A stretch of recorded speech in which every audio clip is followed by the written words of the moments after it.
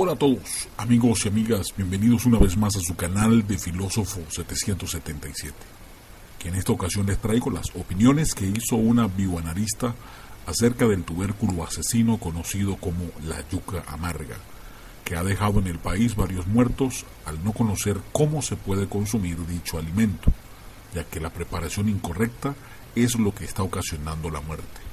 Sin más, aquí le dejo la declaración de la especialista. Buenos días, Carmen. Aclaro la situación porque yo analizo aquí en el laboratorio los casos de esa intoxicación de esa yuca. Tanto la yuca amarga como la yuca dulce, que es la que consumimos en nuestras parrillas, contiene ciertas concentraciones de cianuro. No es que la yuca se contamina con cianuro, la trae de por sí dentro de ella.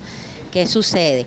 Cuando se trabaja con la yuca amarga, que es la que se usa para hacer el casabe, el proceso en donde se exprime la yuca hace que todo ese, ese veneno o ese cianuro salga y después por el proceso de cocción que obtenemos para el tostado del casabe, se termina de eliminar todo. En el caso de nosotros con la yuca dulce, cuando la cocinamos, el proceso de cocción del sancochado hace que las células expulsen el cianuro que tiene adentro, motivo por el cual nosotros no nos contaminamos. Efectivamente lo que se supone que está pasando es que se está vendiendo la yuca que se usa para hacer el casabe como yuca normal y corriente, cosa que no debería pasar y lo que se le está diciendo a la población solo a medida de recomendación es que cuando obtengan la yuca y la vayan a cocinar, primero dejen la costumbre de agarrar la misma agua para hacer la sopa, zancochar la yuca y zancochar todas las verduras juntas.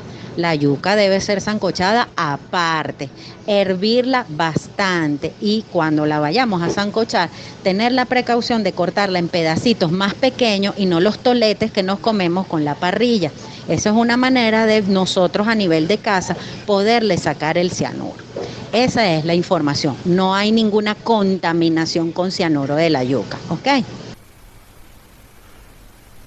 Bueno, finalmente ya lo hemos escuchado, lo que debemos tener cuidado es en reconocerla y prepararla correctamente, en caso de que la necesidad en algún momento nos pudiera llevar a consumirla. Y a modo de reflexión digo que no hay nada más triste que una nación tan rica como Venezuela siga siendo sumergida en la pobreza, porque la mayoría de los habitantes de una nación ya se acostumbró a estar sometida por rufianes, ladrones y delincuentes como los que la tienen sometida actualmente.